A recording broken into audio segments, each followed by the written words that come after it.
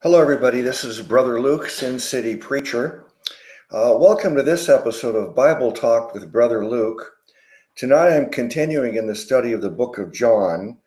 I'm going to pick up where I left off last time, John chapter 3, moving on to verse 13. However, before I leave the subject of being born again, uh, let me reread these first 12 verses in uh, chapter 3 and I want to make a, another point before we go go forward. So let, I'll read it in the KJV, and it says, uh, "There was a man of the Pharisees named Nicodemus, a ruler of the Jews. Uh, the same came to Jesus by night and said unto him, Rabbi, we know thou art a teacher come from God." For no man can do these miracles that thou doest except God be with him. Jesus answered and said unto him, Verily, verily, I say unto thee, except a man be born again, he cannot see the kingdom of God. Nicodemus saith unto him, How can a man be born when he is old? Can he enter the second time into his mother's womb and be born? Jesus answered, Verily, verily, I say unto thee, Except a man be born of water and of the Spirit, he cannot enter into the kingdom of God. That which is born of the flesh is flesh, and that which is born of the Spirit is spirit. Marvel not that I said unto thee, Ye must be born again. The wind bloweth where it listeth, and thou hearest the sound thereof, but canst not tell whence it cometh, and whither it goeth. So is everyone that is born of the Spirit. Nicodemus answered and said unto him, How can these things be? Jesus answered and said unto him, Art thou a master of Israel, and knowest not these things? Verily, verily, I say unto thee, we speak that we do know, and testify that we have seen, and ye receive not our witness. I have, if I have told you earthly things, and ye believe not, how shall ye believe if I tell you of heavenly things? So that's verse 1 through 12. Um, I did cover it quite thoroughly, I think, but thinking back on that particular study, I do think that something more needs to be said about being born again and the necessity of being born again. So, Nicodemus doesn't understand these spiritual things. Jesus is expresses surprise. Well, you're such a learned man. Why don't you understand what I'm saying? Uh, uh, born spiritually, born from above, not born again from your mother's womb born spiritually. Well, first of all, why does someone have to be born again? I mean, we were born from our mother's womb. Jesus said it's necessary, it's required that we be born again spiritually. Why? Uh, if I, I've got to take us back to the Garden of Eden so we can see where the problem started. Uh, Scripture says that God breathed into Adam and he, he became a living soul. He breathed the spirit into Adam. God, um, Adam had a living spirit, and his spirit and the Holy Spirit were one and connected. Now, so the scripture says that God made, it says, let us make man in our image. It's plural. That's the first indication that we have a, a, a triune God. But let us make man in our image means uh, I'll make man triune. Uh, give him a body, a soul, and a spirit. Uh, the body is easy to understand as the physical part of us. The soul is our consciousness, our mind, our thoughts, our emotions. Uh, and the spirit is this uh, connection to God, the Holy Spirit living in us. Spiritually, we're alive because our spirit is connected to the Holy Spirit. So, what happened when man fell? God said, if you eat from the tree of the knowledge of good and evil, you will die that day. Satan said, that's not true. God just doesn't want you to know the knowledge of good and evil. You won't die that day. So Adam and Eve made the first sin.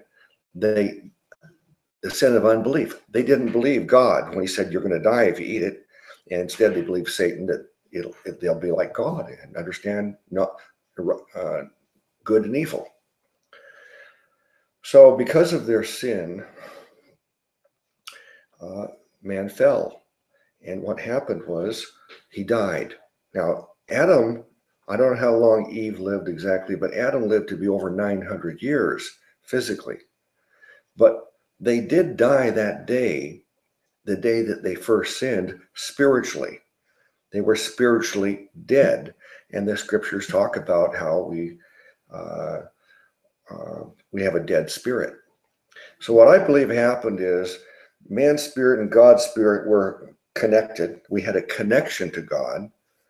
And when we man sinned, the Holy Spirit withdrew, and man's spirit was just left a stub, a stub that's dead, not alive because it's not connected to God.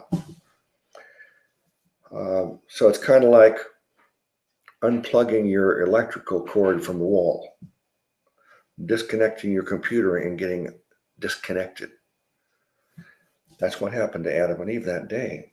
Their spirit died, and ever since then, man, all of the descendants of Adam and Eve, we have been born with a genetic defect, a birth defect.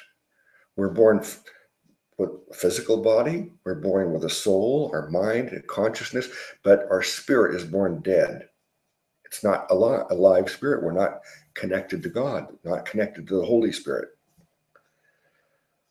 So that's what it means when Jesus says man must, must be born again spiritually, not physically. Nicodemus is thinking, going back into the mother's womb, being born physically. There's no need to be born again physically. We must be born again spiritually because the first time I was born, I was born wrong. I was born with a dead spirit. So that's why we must be born again. Our dead spirit, when we put our faith in Jesus, He puts the Holy Spirit in us. It says we're baptized with the Holy Spirit.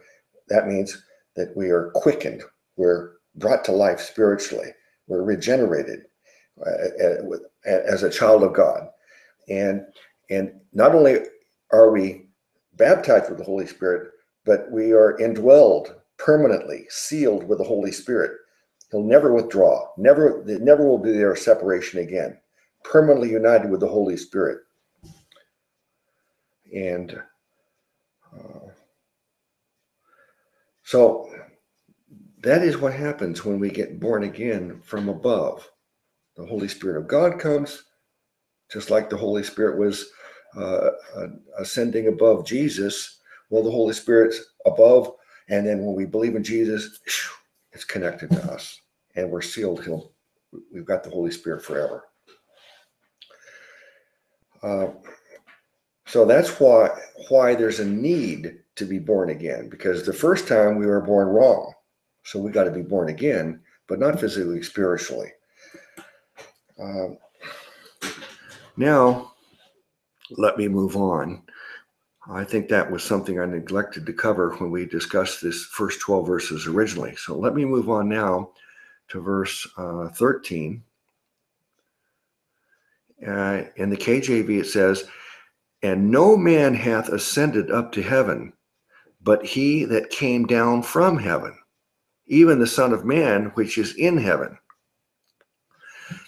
Okay, Jesus is, I think it's pretty obvious that he's referring to himself. Uh, he's referred to as the Son of God. He's also referred to as the Son of Man, and the Son of Man is a title for the Messiah. Uh, but uh, he's saying that no man has ascended up to heaven, but only the one that came down from heaven, and that's the Son of Man. That's him. So he's saying he came down from heaven. Uh, but also, he's saying no man has ascended up to heaven. Well, it's a very interesting verse because this verse gives credence to uh, the people who believe in soul sleep. Uh, personally, uh, I, I, do not believe in soul sleep, but uh, uh, Brother uh, Nephilim Free, Brother Evan, he has attempted to persuade me, and he's he's given me twenty or thirty verses that support soul sleep. And I looked at them, I considered them. Uh, I won't go into the reasons, all the reasons I don't think soul sleep is correct right now. That's not what I'm trying to prove. Uh, but this is a verse that someone who believes in soul sleep could use because uh, they could say, well, see, no man has ever gone up to heaven. This verse says, no one's ever ascended up to heaven. But there's one that came down from heaven, that's the Son of Man, Jesus Christ. He's God living in heaven, and he ascended down, came down, descended. Uh, but because it says no man has ever ascended up to heaven, the soul sleep advocate could say that, well, when we die, even though we're promised eternal life in heaven, we don't actually go to heaven. We're unconscious, we're sleeping, our, our body is dead, and our soul is just sleeping until the resurrection that's when we go up to heaven. We get resurrected and we go to heaven. But um, I don't believe that's the case. But I just want to point out that this is a verse that the soul sleep advocate could use. I think that the answer to this, that verse is that no man has ascended up to heaven. It's talking about the whole man, someone who has a body, soul, and spirit. you know, like like I haven't ascended up to heaven. Have you? Uh, you might have had a vision of it, some people claim that they've had, uh, uh, you know, been transported. Paul, uh, uh, he he said he's talking about someone that uh, went up to the third heaven, which is where the throne of God is. The heaven, first of all, there's three heavens. When the word heaven is used, it can be used three different ways. The uh, the heavens, which means the entire universe, and the earth is part of the heavens and then that the heavens that uh, could also be just the atmosphere around the earth let's say within from the from the surface of the earth uh, up to maybe a mile or 10 miles or 50 miles or whatever the time is the a radius around the earth we could that's also referred to the heavens where the, the birds are flying and and where satan was supposed to be and the the, the fallen angels are supposed to uh, have uh, dominion over that uh, but um, the, the, the third heaven is where we see that the throne of God, God's primary location. Now, God is omnipresent; He's everywhere, but He also is at His on His throne. And where is it? Uh, Dr. Peter Ruckman says it's at the North Star. Just go north and you'll find it. I don't remember how he justifies that, but uh, it doesn't matter exactly where it is, but uh, we, we do get from the scriptures that there is a, uh, a an actual location for God and his throne. Um, but uh, um, this, this verse here says, No man has ever gone up to heaven. But that is, I take that to mean that no man has ever gone up to heaven as a completed man, a full body, soul, spirit, a triune man. Whereas uh, uh, you know, when people die, they do go to heaven, but their bodies don't go up there because their bodies are in the grave or cremated or and, and bodies are will be resurrected. I'm not sure I'm all right on all that, but that's that's how I see it. Okay, let me go on to the next. Let me read that in the Amplified and see how it phrases it. Verse 13. It says, um, it's in red letters, by the way. The Amplified shows Jesus' words in red letters. It says, No one has gone up into heaven, but there is one who came down from heaven, the Son of Man, himself, whose home is in heaven. Okay? Uh, yeah. So it's saying no one's gone up to heaven, but the Son of Man, there's one who came down from heaven, the Son of Man, Jesus. Verse 14. And as Moses lifted up the serpent in the wilderness, even so must the Son of Man be lifted up. This is uh, I have a, a playlist uh, titled The Bloody Trail.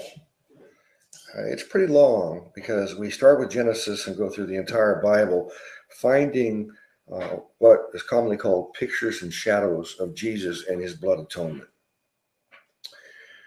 Um, and, and, there's many, many cases. I, am sure there's dozens of examples.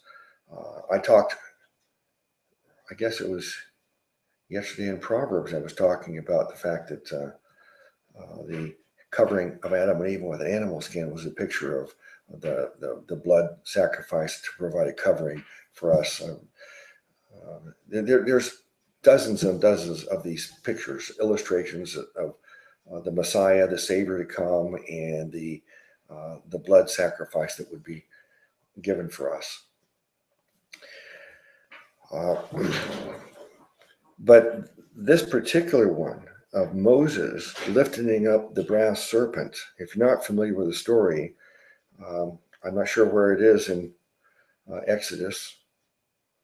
It would be in Exodus, and, but um, everybody's being bitten by snakes and they're dying. And, and Mo, Moses, uh, I'm, I'm assuming that God told him what to do, and Moses had a, a staff made with a, a, bronze, a bronze serpent put on it on the end of the staff, and he lifted it up. And if someone would look at the serpent, all they had to do was look at the serpent, and they would be not die from the serpent bite. Even if they'd been bit, they would be it would not be a deadly bite. They would live. So obviously this is a picture of looking to Jesus for life. And uh, Jesus is saying here, just as as uh, uh, Moses lifted up the serpent in the wilderness, so shall the Son of Man be lifted up. And when how was the Son of Man lifted up? on that cross. He was nailed to the cross, he was lifted up, and he said, In this manner I will draw all men to myself. He has his arms outstretched, waiting to embrace you. And arms outstretched, saying, I love you this much. Come to me for salvation.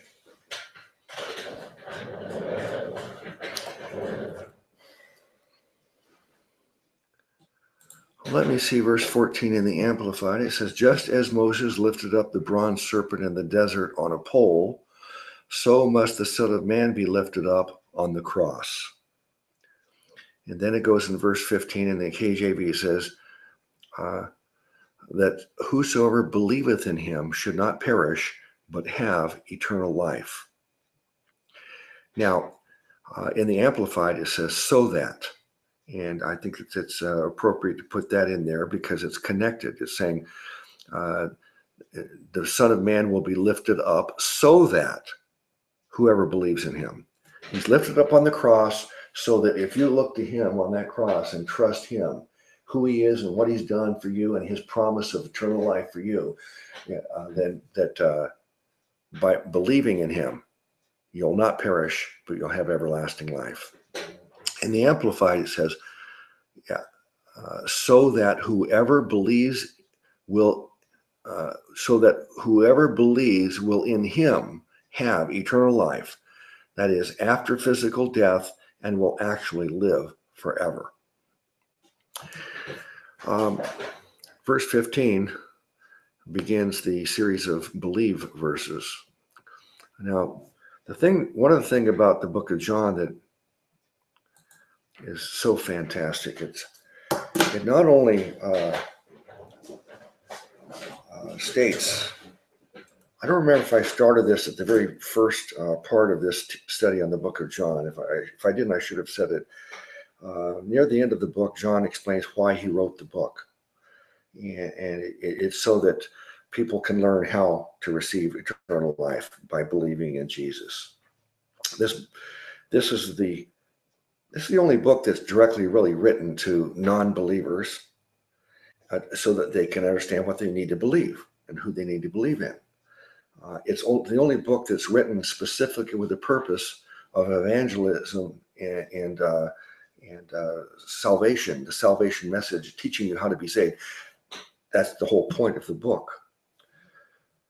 So um, that in this book, the word believe in one form or another, the word believe appears 99 times in the book of John.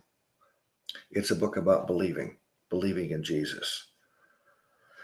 Uh, one word you do not find in the book of John, though, is the word repent. And I'm glad that it's not there because it's it's it's good to repent in the sense that I no longer believe in earning salvation through my own efforts. I've changed my mind. I've repented, and now I believe that salvation is a free gift by from Jesus when I put my faith in Him. Uh, that's the kind of repentance for salvation that is uh, valid.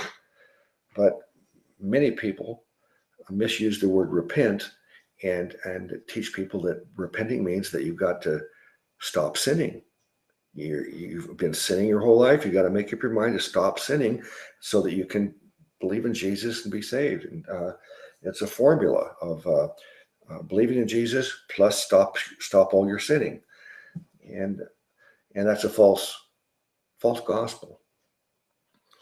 Um, but the, the word repent doesn't appear in the Gospel of John. That means that if repenting, in terms of if you wanted to misuse it, say repent means to stop sinning. Never once does the Gospel of John say you've got to repent of your sins in order to uh, believe in Jesus and be saved. So obviously, uh, repenting is not a, a, requisite for salvation. Otherwise, the book of John would have every time it has believe, it would have repent, repent and believe, repent and believe, repent and believe. Instead, it just had believe 99 times. So we're beginning the series of believe verses here with verse 15. Whosoever believeth in him should not perish, but have eternal life. And then, maybe the most famous verse in the entire Bible, John 3 16. For God so loved the world that he gave his only begotten Son, that whosoever believeth in him should not perish, but have everlasting life. There's so much in this verse here, it just refutes all kinds of, uh, you know, false uh, uh, religious doctrines. Um, but let me go through this carefully. It says, For God so loved the world. When it says God loved the world, uh, the world means mankind. Uh, so God loved all of man, mankind so much is what that verse is telling us. And yet a Calvinist says, well, world doesn't really mean world in terms of all people. It just means uh, all kinds or sorts of people, or you know, the world. Um, people from all over the world can be saved, but he doesn't love all people in the world. That's a Calvinist explanation of it. See, Calvinists, what they they have to do is they have to redefine words that are so simple to understand that anybody, no one would dispute what they mean, but a Calvinist has to totally redefine words like world and whosoever and all. Uh, they have to redefine them to support their false doctrine of Calvinism. So here we have, for God so loved the world, so God loved all of mankind, all people, that he gave his only begotten son. Gave means he gave him to be sacrificed, he gave him as a gift. Giving is a gift. Uh, when you when you get a gift, someone gave, gives it to you. Jesus is the is the gift to mankind. Uh, so the gifts we get is we get Jesus as our Savior. Uh, we get the Holy Spirit indwelling in us. We get salvation. We're saved from condemnation. We get life everlasting. We get to live forever in heaven. These are the gifts that we get as, as soon as we believe in Jesus. So, for God so loved the world that he gave his only begotten Son. So, only begotten Son shows the uniqueness of his, his sonship. He, he's not the a son in the same sense that I'm a son of God, even though I am. And if you believe in Jesus and you get born again and your spirit's brought to life, uh, the Bible says you become a child of God at that moment. But uh, I'm not the only begotten, unique Son of God in the sense that Jesus is, because He's the Son of God in, in terms that He's completely, completely God too. Just as I'm completely human, and my only begotten Son, named Mark, he's completely human because he's my son. He's equally human to me. And the Son is equally God, equal to the Father. Uh, so I'm not God. I have the Holy Spirit living in me, but that doesn't make me God. That I'm I'm a child of God, a son of God, in in the sense that uh, I'm adopted, and I'm and uh, but not I'm not God in the sense Jesus is. He's eternal. He's he's not a creature. He does not have not have a beginning. He's uh, omnipotent, omnipresent, omnipotent, and uh, the creator of all things. Everything that was made, it said in ch- chapter one, everything that was made was made by Jesus. He's the creator of all things. So this, the fact that he's the only begotten son is uh, totally different than the fact that you're a son of God or a child of God. Uh, it says that he gave his only begotten son that whosoever believeth in him should not perish. Now, whosoever, this is another Calvinism uh, killer. Whosoever means any person without exception. Whosoever. Whosoever doesn't mean any person within a particular group of people. It means any person without exception. Every single person on the in the world, every person that's ever been born. That's what it means, whosoever uh, whosoever believeth in him. Now, what does it mean to believe in Jesus? Uh, it, it, doesn't mean that you believe that uh, uh, Jesus is a historical person that really lived. It doesn't mean that you believe the historical facts of G- about Jesus's life. That uh, you know you you agree, believe, and agree that yes, He's he's uh, God. He's the Son of God. He died for our sins. He's raised from the dead. He did miracles. I believe all those things are factual. That's believing in the facts about Jesus. But to believe in Jesus for salvation, it's totally different. It means you're you're believing in Him for your salvation personally. You're believing in His ability exclusively you believe that Jesus not only has the ability, but he's the only one that has the ability to give you eternal life in heaven. So you're believing in the ability of Jesus to save you, and you're also believing in the faithfulness of Jesus. He promises if you'll just trust him, he'll give you eternal life in heaven. So you're believing in his faithfulness. You have confidence in him, in him doing what he said. You believe since he made a promise, it's going to happen. It's guaranteed. He cannot break a promise. So when you believe in Jesus, it's not you're believing that, well, he was a real person. I believe he really existed and he really died on the cross. And I believe all those things are factual. Ask any Roman Catholic. They'll they'll say, yes, all those facts are true. And then ask them, uh, do you think you're going to go to heaven? And if so, why? They're not believing in Jesus for their salvation. The Roman Catholics all answer the question well, I'm not sure I'm going to heaven. I got my fingers crossed. I'm hoping I'm good enough. I, uh, I, I do all the things the church tells me to do. I got baptized and, and confession and communion and confirmation, everything else. And I light candles and I go to church and I try to be good and I hope it's enough. See, does that sound like they're believing in Jesus to save them? Or are they believing in their own performance that it I, I hope I performed well enough and, God accepts me. So believing in Jesus is not believing all the facts about Jesus. It's trusting him and depending in, on him. Like Paul says, believe on the Lord Jesus Christ and thou shalt be saved. Believing on him means you're depending on him.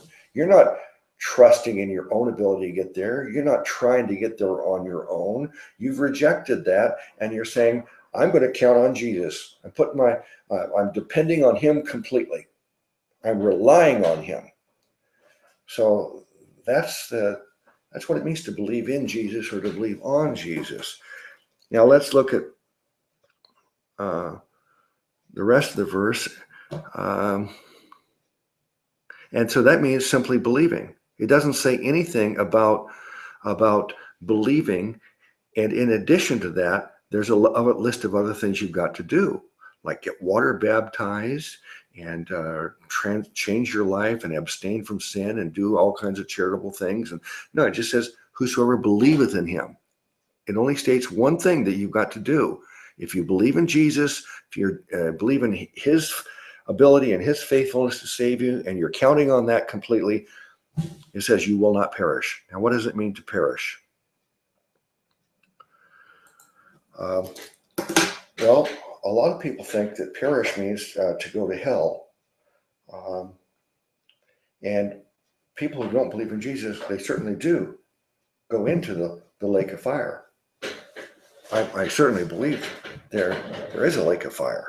I don't know if it means that the whole universe becomes fire when it's all the universe is uh, uh, on fire and is totally consumed by fire, as the scriptures tell us, or if a, there's a separate place that's a lake of fire that they're thrown in. But the point is that the lost people will go into this fire and perish.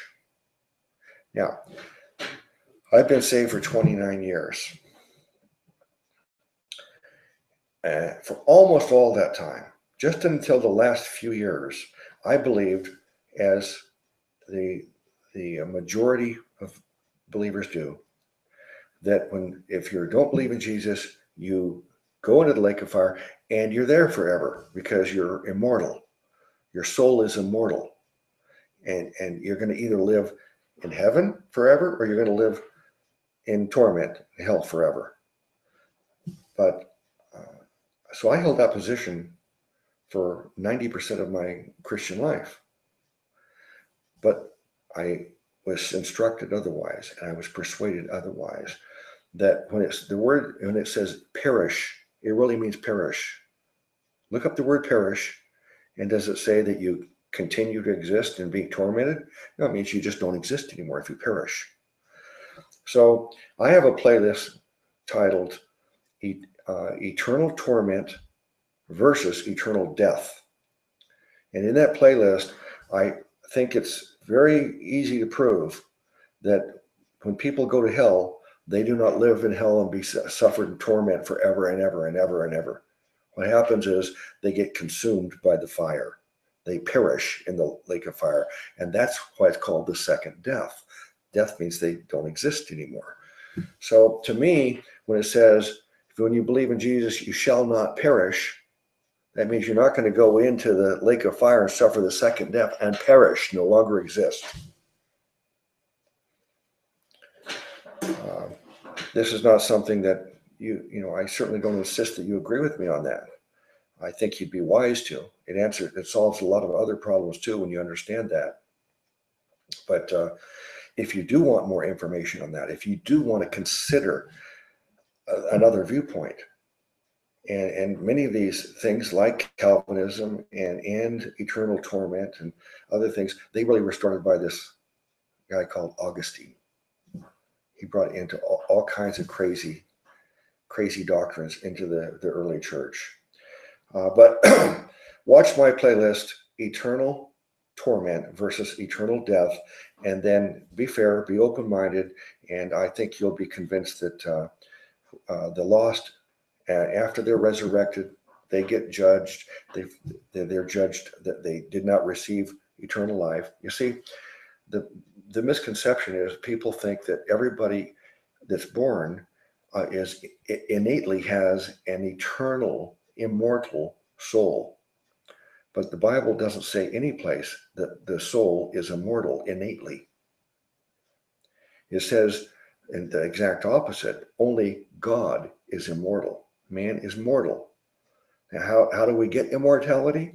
It says there's one way you can become immortal put your faith in Jesus, and then you become immortal. Your soul is immortal then. But without putting your faith in Jesus, you don't have a mortal soul. Your soul will die in, in the lake of fire and perish, along with your resurrected body. Now, let's uh, let's look at the rest of the verse. It says, um, "Whosoever believes in Him should not perish, but have ever, everlasting life. Everlasting life. That's the proof proof that you're you're you have eternal security. It says that if you have everlasting life, how long does it last? It lasts forever. If you could lose it, it, it should have never been called everlasting life. But the fact that it's called everlasting life proves that it lasts forever. You cannot lose it. There's, watch my playlist, Eternal Security Proven. If you think that a person can lose their salvation for any reason, either because they uh, start, you know, their life gets bad, they start sinning, or they, uh, or they, uh, they get become apostate and, and get a lot of false doctrines, or or even if they get angry and hate God, or even if they lose their faith completely for no reason. A person cannot lose their salvation for any reason. They cannot even give it back. It's irrevocable. Once you put your faith in Jesus, it's like we said in the beginning of this chapter. When you're born, you can't go back into your mother's womb. When you're born again spiritually, you can't go back and get unborn again spiritually. So, this everlasting life tells us that uh, you know, once we receive it, it's forever. We don't ever have to worry about losing our uh, everlasting life or salvation, eternal life in heaven. Okay, so that's uh, John 3.16. Let me read that in the Amplified and see how it phrases it. For God so greatly loved and dearly prized the world that he even gave his one and only begotten Son, so that whoever believes and trusts in him as Savior, I like how it phrases that. That that makes the point exactly right. If you you're believing in him as your Savior, if you believe in him as your Savior, it means what does it mean if you think someone's your Savior? I mean they're the one that's going to save you. That, and you're you're not going to do it by becoming religious and changing your life and saying, God, I deserve heaven because I did I did change my life, so let me in. No, you're you're depending on Jesus. You're believing and trusting Jesus as your Savior. It says, shall not perish, but have eternal life. Okay, so now we got verse 15 says, Whosoever believeth, and verse 16 says, Who whosoever believeth, uh, and then like verse 17 says, for God sent his Son into the world to, to condemn, uh, for God sent not his Son into the world to condemn the world, but that the world through him might be saved.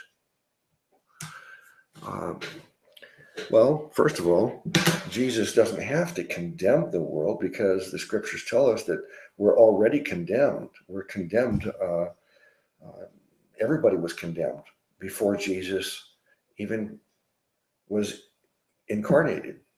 And after he's incarnate, everybody born, we're born condemned. We need to get uh, a pardon from the governor. We, uh, we need to get uh, uh um, um, a cure that that uh, uh, the medicine that cures our deadly the disease of death and condemnation. But the, the scriptures tell us that if you believe in Jesus, you're not condemned. If you don't believe in Jesus, you're condemned already. But Jesus is not here to condemn everybody. The world's already condemned. But he came so that through him, people could be saved. Saved from condemnation. Verse 17 in the Amplified says, For God did not send the Son into the world to judge and condemn the world, that is to initiate the final judgment of the world, but that the world might be saved through him. Now, verse 18, another believe verse. He that believeth on him is not condemned. Okay, this is the verse I was thinking of earlier. He that believeth on him, if you believe on Jesus, you're not condemned. But he that believeth not is condemned already. So the the starting point is condemnation. We're already condemned. And we need to get a pardon. If you're condemned, you need the governor to give you a pardon. And uh, so uh, we're condemned, but if you believe on Jesus, you're no longer condemned because he, it says, He that believeth on him is not condemned, but he that believeth not is condemned already, because he that hath not believed in the name of the only begotten Son of God. Now, it doesn't say, it doesn't say that uh, because he's a sinner and uh, continue to sin and he's going to be found guilty of sin at the judgment, you know, it, it, it doesn't say that you're condemned because of sin. Why would it say that? Why would it not say you're condemned because of sin? Because when Jesus died on the cross, he paid for everybody's sin. Sin is not the reason that people go to hell. It's unbelief in Jesus is the reason. But here's the um, here's the really important thing about this verse. This shows you that there are two classes of people: those that believe, who are not con- and are not condemned, and those that believe not in Jesus and remain condemned. So you have these two groups the condemned, and let's call the others the, the pardoned. I have a, a video titled uh, uh, uh, Universal, I think it's Universal Salvation Refuted or something. It's I do not believe in universal salvation. I believe in universal reconciliation, um, in that uh, everybody's sins are forgiven, but not everybody has eternal life because even though Jesus paid for everybody's sins, uh, they don't get to live forever in heaven unless they put their faith in Jesus and receive eternal life, receive immortality. Uh, that would be a terrible shame since Jesus already paid for your sins. Why don't you do the one thing he asked you to do now just trust him and receive life everlasting but uh, someone uh, sent me a video about i forgot who it was but they were teaching universal salvation that everybody gets saved uh, because jesus paid for everybody's sins everybody gets saved and I, I, I can i can agree that he paid for everybody's sins but this verse here says that if you believe you're not condemned, if then if you don't believe you are condemned. So there's definitely two groups of people. And there's plenty of verses that show that people do go into the lake of fire. So if they do go in the lake of fire, there certainly are some people that end up condemned, don't they? Now, some people say that, well, they go into the lake of fire, but you they it's like dancing on the coals or something. They they say, "Oh, Jesus, Jesus, save me!" and uh, uh, every knee shall bow and every tongue confess Jesus Lord. Yes, Jesus, your Lord. Get me out of this fire. And then he saves you. Well, I don't see anything in the scriptures to convince me of that. I see in the scriptures that they perish. If you, if, if you don't believe in Jesus, you perish. If you do believe in Jesus, you receive life everlasting. So I think that when they go into that lake of fire, they suffer the second death and perish. They don't shout, "Oh, now I believe Jesus," and and he pulls them out of the fire and they're saved. So this verse here shows us the importance of believing. The reason there, there's these two groups of people is is not because one group is good and one group's bad. The good people go to heaven, the bad people go to hell. That's not true. Uh, it's not because the people in heaven are not sinners and the people in hell are sinners. No, all people are sinners. But the sinners that go to heaven, uh, they're different in that they believed in Jesus, they had faith, they believed. The people that, the sinners that go, don't go to heaven, that go into that lake of fire, their problem is they would not believe. So the difference is believing or not believing. It's not sin and not sinners and non sinners.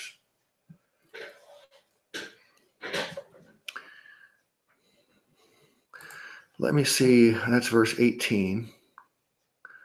Oh, it also says, because he hath not believed in the name of the only begotten Son. That's that's an important point to mention too. Believing in his name. Now that's why some people think that uh, just believing in the name of Jesus, that's not enough. You've got to believe and understand all the facts about Jesus. Well, I certainly want to tell everybody all the facts. I'm certainly not going to neglect to do that. I'm not going to purposely leave it out either. I want to tell you, Jesus is God. He became a man, the Son of God. He, he, he performed miracles. He was born from a virgin. He, per, he performed many, many miracles, and, and he died on a cross. And by dying on that cross, he paid for all of our sins. So the sins problem is solved now. And, and he was buried. He was buried for three days, three days, and then he was raised from the dead, and he walked among 500 witnesses for 40 days. They touched him, they saw him, they spoke with him, they ate with him. And that resurrection is a, a fact that is makes everything uh, that's the sign that Jesus promised to prove that our faith in him is justified. He proved he's God and he proved he has power over life and death when he raised himself from the dead. So I want to tell people all these facts, but I made a, several videos arguing that a person who did not understand all the facts, either, either did not know all the facts or did not understand all the facts perfectly. But and yet they they did believe in the name of the Son of God. They believe Jesus is my Savior. I, I, I'm I'm not. I, I know that I can't get to heaven. I need. It's like the Pharisee and the tax collector. The Pharisee is praying at the at the temple and saying, "Oh God, I'm thankful I'm not like all these other people because I give my tithes and I fast and I do all these things and I'm not like these other people."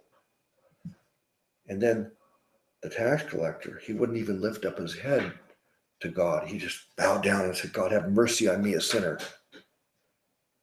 How did Jesus view them? He said, "It's not the Pharaoh, the religious Pharisee that was justified. It's the humble man that just cried out, God, please save me. And uh, uh there's a lot of verses that say all you got to do is believe on Jesus. All you got to do is call in his name. All you got to do is believe in his name. And I believe those verses are true. Uh, but if we understand all the details about who Jesus is and what he's done and, and why and why sin is not an issue and why the resurrection gives us confidence, then it certainly is going to make sense for a person who doesn't who doesn't uh, understand how how this is all possible. But there are some people that uh, uh, they don't even have to know all those facts. They just cry out to Jesus and say, Jesus, I don't know everything about you. I don't know all the facts.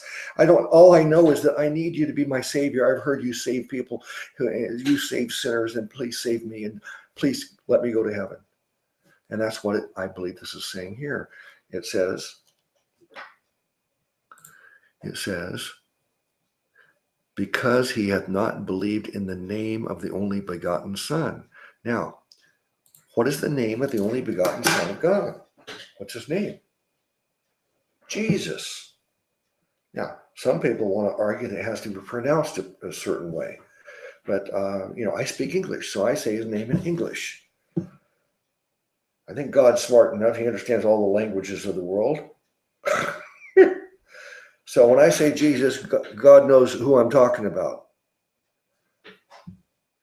And if I say, I believe in the name of Jesus, I believe in Jesus for my salvation, well, what does the name Jesus mean? It literally translates to God saves.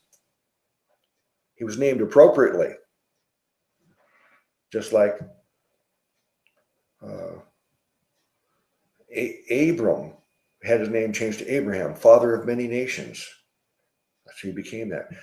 Uh, Isaac, he was he was his name means laughter because his mother laughed at the thought that as an old woman she would become uh, have, a child. Esau red because he was redheaded and had a lot of hair. J- Jacob, trickster, schemer, and that's what he was. That's read about his life. Jesus, God saves, God who saves. Jesus is God who saves. When you believe in his name, you're believing that he is the God who will save you, and you're depending on him to save you. Let me read that in the Amplified. Whoever believes and has decided to trust in him as personal Savior and Lord, okay, that's good. I like that, is not judged. For this one, there is no judgment, no rejection, no condemnation. That's right. When you put your faith in Jesus, you trust Him for your salvation, then uh, you're not going to be judged because uh, you're you're already uh, received your pardon. You're no you're not no longer condemned. But the one who does not believe and has decided to reject Him, reject Jesus as personal Savior and Lord, is judged already. Now, when it says to reject him as personal savior and lord i can accept that terminology if we take the word lord as uh, it is used here in, in greek would be kurios. And kurios means lord god. It doesn't mean lord like master. Uh, see sometimes people think lord means well he's my master. I've got to serve him. I've got to surrender my life. I've got to pick up my cross cross carry it and follow him. I've got to, you know, devote my whole life to him. I've got to submit my will over to him. They think that's what lordship means. But Lord means he's God. He's eternal, God Almighty. And so if you believe that Jesus is your personal Savior and Lord, that he's your Savior God, then you're not judged. For this one, there is no judgment, no rejection, no condemnation. But the one who does not believe and has not decided to reject Jesus as personal Savior and Lord, he is judged already. That one that one has been convicted and sentenced because he has not believed and trusted in the name of the one and only begotten Son of God, the one who is truly unique, the only one of his kind, the one who alone can save him yeah, that's good. That's the amplified, how they they amplify and expound on these words. Just as just as I am, what am I doing? I'm reading the KJV and then I'm amplifying in my words.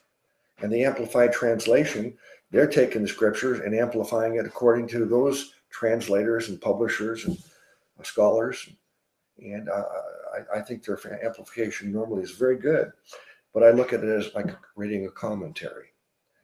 Uh, but I think that in this case, John 3:18, they did an excellent job amplifying it. Okay, so let me see 319. I think I'll stop there. Uh, 318. Oh, and it says, and they had not believed the name of the only begotten Son. Uh, this is they did a good job of expounding on the uh, the only begotten Son. It says the one who is truly unique, the only one of his kind, the one who alone can save him. So uh, I think that's an excellent way of explaining this concept of being the only begotten Son of God. All right, uh, so I'll pick up with. Let me write it down.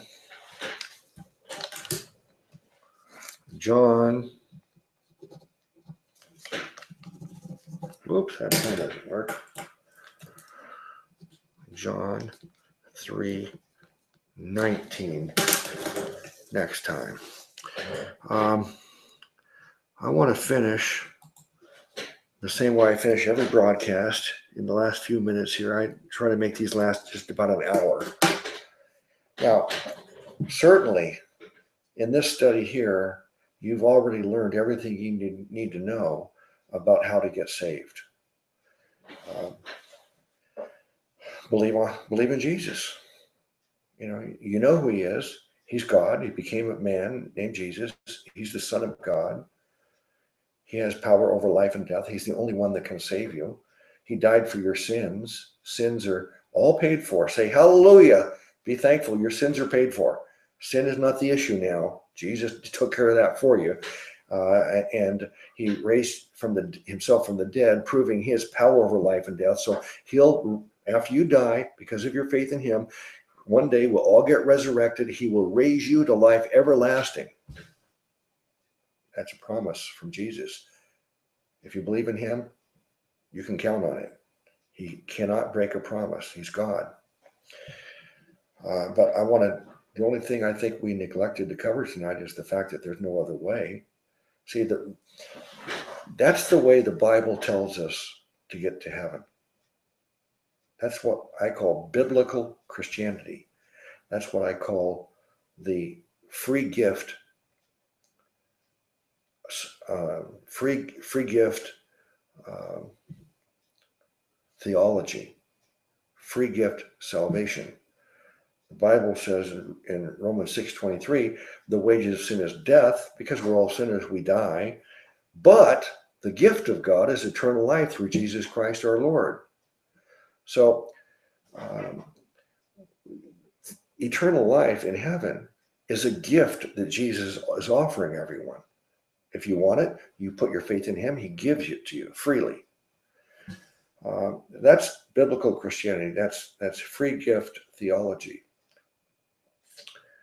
Uh, but most people in the world today, and most people throughout all of history, don't understand this. They don't. Uh, and if they do understand they reject it. It's too easy, too simple. They say, "No, it can't be like that because there's a merit system. You know, there's no there's no free lunch. You've got to work for it and earn it." Well, if you want to try to do that, you can. You can try to work your way to heaven, but the Bible says that uh, uh, you will fall short. It says we all fall short.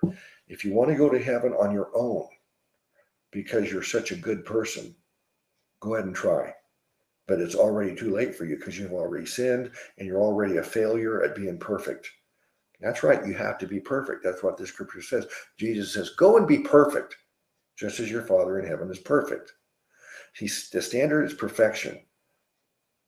So the Bible says we all fall short of the glory of God. The glory of God is perfection. Try to be good and try to get to heaven by being good. Maybe you'll make it up to here, here, here, but you're going to fall short. And then at the judgment, Jesus will say, Why didn't you believe in me? I died for all your sins, but you wouldn't believe in me. Depart from me.